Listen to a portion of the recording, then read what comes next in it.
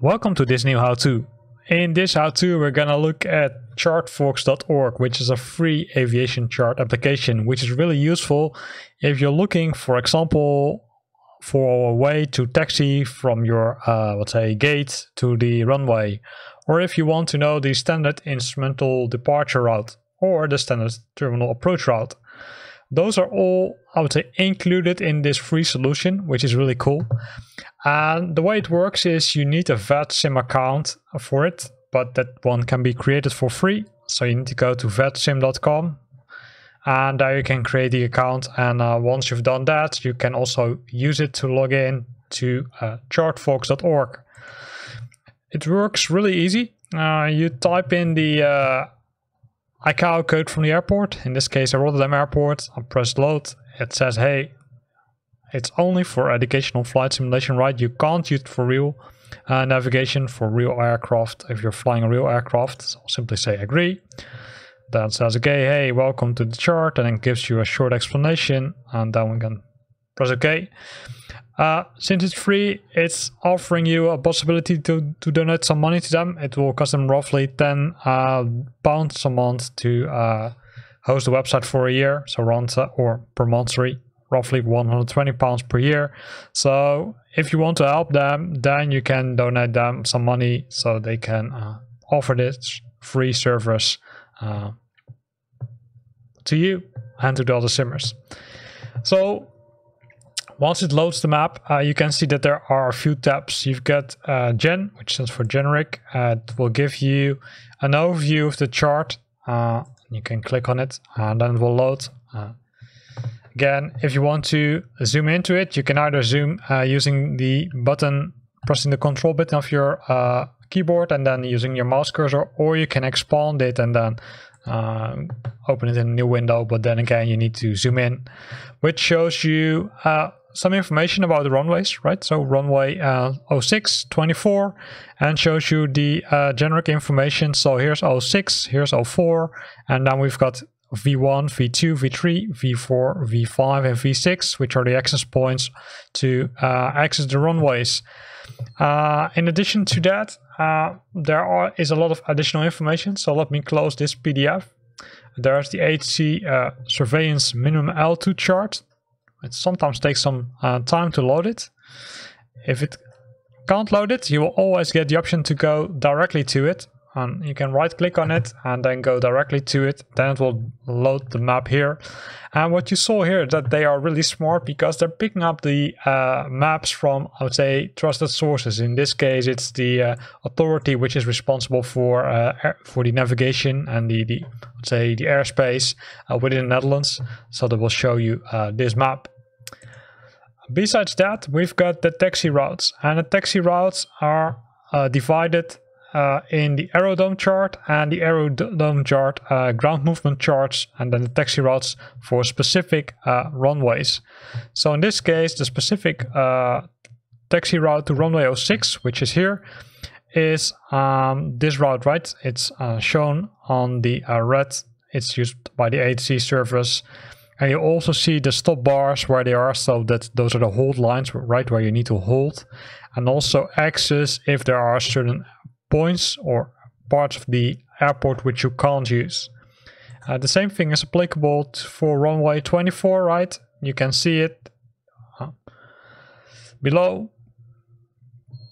Runway 06, sorry, looks like this map or this uh, link is incorrect because it still points to runway uh, 06. Uh, so that's cool. Mm.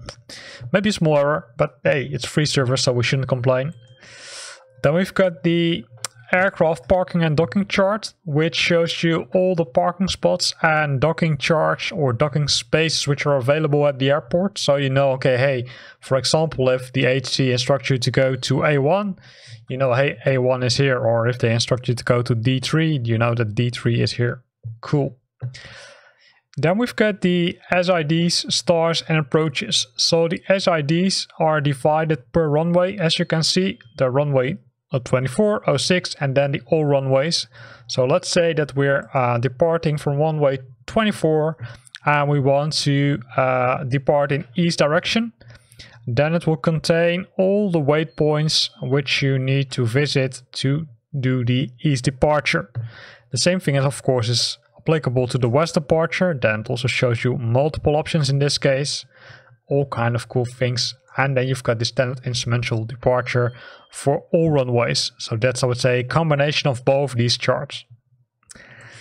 Then you've got the standard arrival chart and the standard arrival chart uh, contains all the routes which you can take to arrive at the airport including holding patterns, right? In some cases if it's very busy at the airport you are assigned a holding pattern, in this case flight level 050. For one minute you need to fly this holding pattern if you're being instructed by the ATC and you can see another one here, another one here, right? So there's all kind of cool information. This is where the um, star route starts and then it will follow the lines here and eventually it will bring you to the airport, right? That's the star route because the star route is used prior to using the approach and that's what's listed on the approach tab. On the approach tab, you've got the different approach times which you have per runway again. So you've got the ILS and localizer approaches, you've got the RNP, the VOR and also the VFR procedures, right? So if I, for example, want to uh, use the instrumental approach uh, for using localizer or three, I want to use the ILS approach or localizer for runway 06, then this is the approach I should take, right? So it, it contains really detailed information about the uh, approach you need to take. And the same thing is applicable to both runway 24 uh, and that's uh, ILS uh, Yankee and ILS Zulu. Then we've got the RNPs, right? So the RNPs also listed nicely. And of course, when we scroll down, we also have got the VOR approaches, right? So the VOR approaches, these are the three approaches which we can take to at least make sure that we're landing successfully on runway 06 then as last point, we've got the VFR route, right? So we've got the IFR route, right? Which is used for uh, instrumental flights and the VFR for visual flights. So these can be used if you fly VFR. So if you're flying VFR, then you can use these maps to make sure that you're finding the correct approach and land successfully on an airport.